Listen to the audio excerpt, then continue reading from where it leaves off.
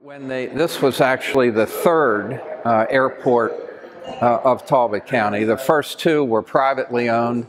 Uh, they were in fields. They were sod runways.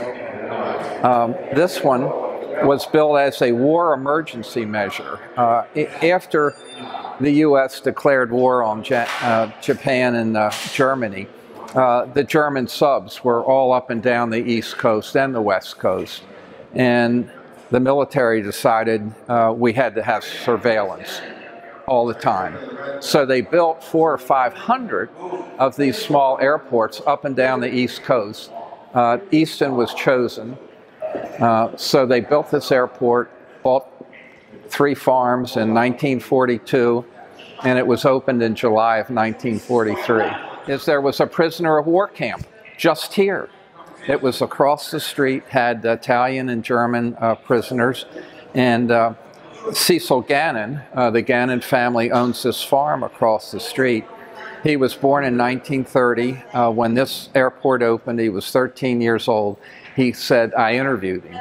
He said he clearly remembers every morning the prisoners being marched down the road here. It was a dirt road under armed guards, and they'd go out to where 50 is now. They'd load them in the farm trucks and on the wagons, and they'd go out and work in the fields. And no, it wasn't a secret. Uh, all the all the farmers uh, here, not all, but many of the farmers here, uh, used the prisoners of war to work on their farms.